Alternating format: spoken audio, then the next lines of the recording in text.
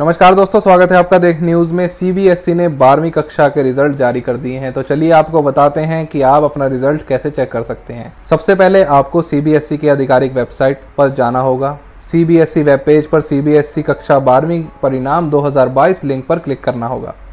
उसके बाद आपको अपना रोल नंबर और बाकी के क्रीडेंशियल्स दर्ज करने हैं। उसके बाद आपको वहाँ पर सबमिट पर क्लिक करना है। इसके बाद आपके सामने एक स्क्रीन ओपन होगी, जिसमें आपका सीबीएसई 2022 परिणाम आपके सामने आ जाएगा। उसे आप वहाँ पर चेक कर सकते हैं और आप चाहें तो उसे प्रिंट आउट भी निकाल सकते हैं। वीडियो अच्छी लगी तो वीडियो को लाइक कीजिए और ऐसे ही वीडियोस के लिए हमारे चैनल देखने उसको सब्सक्राइब करना मत भूलिए।